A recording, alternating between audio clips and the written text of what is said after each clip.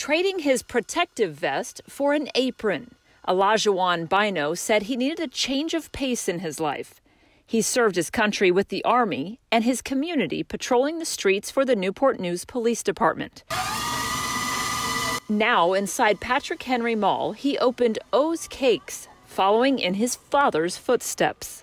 it's very exciting uh, to know that I have so much support in, uh, in the city, in Newport News, but um, I didn't expect this much. and his crowd control training is now helping him welcome a hungry crowd. So when he said that, you know, I want to quit being a police officer with everything going on, the stresses, I was in full support.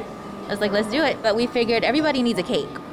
Um, and his cakes are delicious. With his wife Asia by his side and four children, including a newborn at home, he felt it was the right time. I feel like my family better off with me making cakes than being a police officer. Now he hopes you will allow him to serve you in a different way. And so far, things are looking good. As you can see, this new business is having quite the grand opening. There are a lot of people here in line waiting for their slice of cake.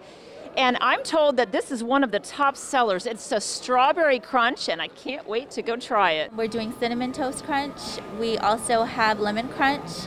And we are doing pinata colada, which is pineapples and coconut. And though he's opening during a pandemic, he hopes it'll be a piece of cake. I think now is the, the right time, and I'm going to show everybody that thought that it wasn't the right time that it is the right time. In Newport News, Angela Bohan, News 3.